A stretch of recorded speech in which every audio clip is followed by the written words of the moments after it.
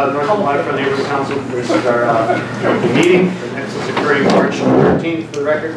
Um, I'd like to just note that Matt Conti of northendwaterfront.com will be uh, videotaping tonight's meeting. Expect Phil Orlandella of the Regional Review to be here as well.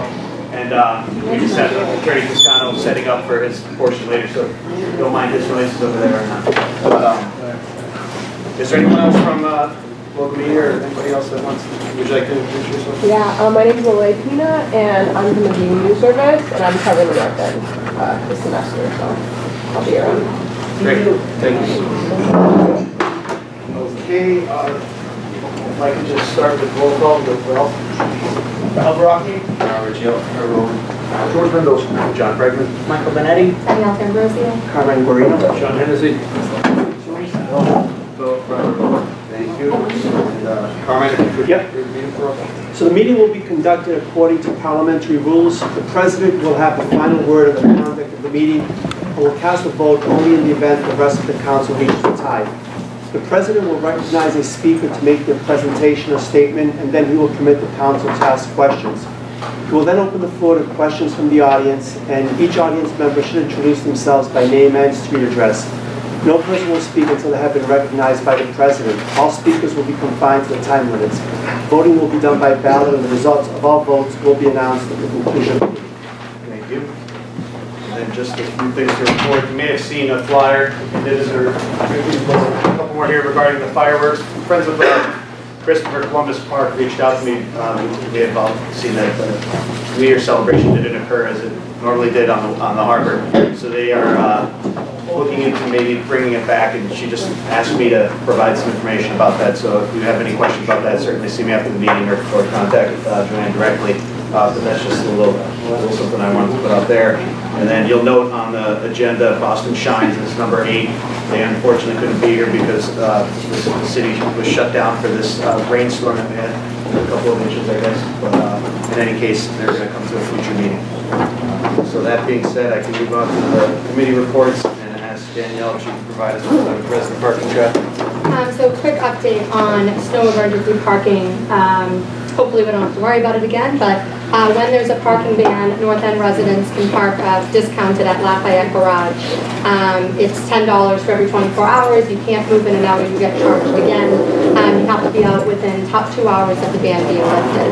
Um, and then quickly, I'm gonna pass around a petition, um, for the resident parking pilot program uh, that we've discussed in the past. So I've talked to Sal LaMattina and Commissioner Fiandaca from the Boston Transportation Department, and they, they're in support of implementing an ordinance that will raise fines from $40 to $100 uh, from two hours before um, until two hours after any game, event, or concert night at City Hall Plaza or TD Garden. Um, There was, in, in that, um, if you sign, if you're in support, that would be great. And then the last two pages are actually uh, excerpts from when the ordinance, the pilot program was put into effect, and the ordinance was actually officially signed. Um, And there was huge success in Fenway with a very similar program.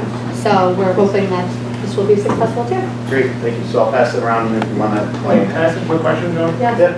We do it during, thing of, you do it during feasts too, just while we're at it, when it's We can absolutely add that. So uh, if you have any suggestions, and I'll add that as one of them, I think that would be, that would be very, it would be very helpful to have that. And I'll submit that with the petition. Great, thank you. Good work with that. Um, We do not have a public safety committee report for this month, so I'll just offer a brief Greenway committee report. Uh, The gala is on June 8th, so they wanted to uh, remind us all that that that's coming up again. Uh, This Saturday to Monday, the holiday, is Experience Kissimmee on the Greenway. They have a zip line, there's going to be alligators and other things like that to get us, I guess, in the Florida mood, since all this snow is really uh, making us too winter.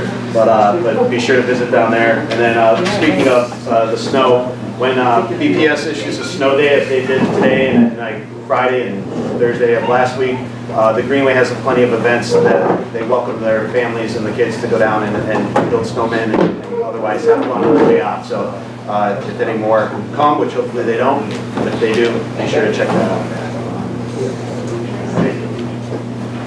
So then, I know we have some, uh, some of our local elected officials here and some may come, but uh, I'll just start, if I can wait, okay. Uh, Maria Lonson? Hi everyone, Maria the Office of Neighborhood Services. Just a couple of quick announcements. Like John had mentioned earlier, Kyra Fox from my cabinet of Civic Engagement had to cancel tonight, but just a little briefing on what she's going to talk about. So Boston Shines, our annual spring cleanup, has been very successful. Um, We are now re-announcing Boston Shines, it's going to be turned into the Love Your Block initiative. And so Love Your Block will be about promoting neighborhood revitalization, and we'll also be doing year-round cleanups along with the big cleanup in the spring. This year, the North End uh, cleanup weekend is April 28th to April 30th, and you can start, you could start registering on February 6th if you go to boston.gov backslash love your block. So there's a lot of faces in the room, I hope to see you all this spring. Um, and for more information on that, like I said, boston.gov backslash love your block. Um, one other announcement that came out about two weeks ago, um, Mayor Marty Walsh, in partnership with the Boston Red Sox Youth Foundation, has designated certain community centers around the city to receive a batting cage. And the Nazzaro Center is luckily one of those centers. So the batting cage will be installed within the next six months, hopefully. It'll be upstairs in the gym, and the way it'll work is it'll attach to the ceiling and then pop down to be used, and then go right back up so that other basketball games or other activities up in the gym can take place. We're really excited about this. We're about only um, four other community centers that received one, so look forward to having that rolled out in the next six months. And then lastly, just an update from Imagine Boston. Imagine Boston's holding a listening session on Thursday, February 16th from 6:30 to 8 o'clock PM about imagining Franklin Park and how we could better connect Franklin Park to our community. A fun fact, Franklin Park is actually the center of the city of Boston, and most people don't know that. You know, we're so involved with downtown, we can't really see that far out, but it is good to think about a place like Franklin Park and how we could use it for our benefit as well, even traveling across the city.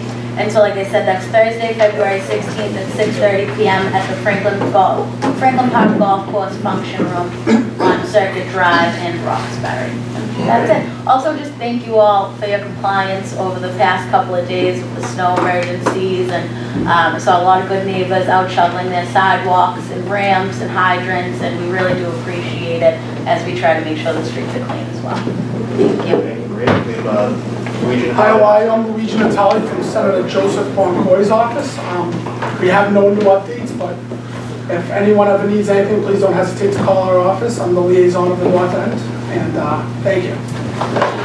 I know we have uh, Patrick Lyons here for uh, Representative Michael's office, but did you have anything else, uh, Councilor LaMattina? I'm sorry. Okay. Okay. All right, I was, uh, how are you? I don't really have a lot, I'm here to listen tonight. Um,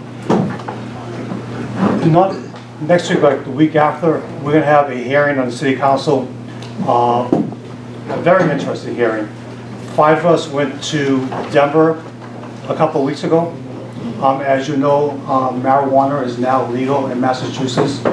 And um, so we went to study recreational marijuana and how um, Denver is dealing with that since they're the first major city to um, deal with um, recreational marijuana. So we're gonna have a hearing probably two weeks from Thursday, uh, just to talk about our findings.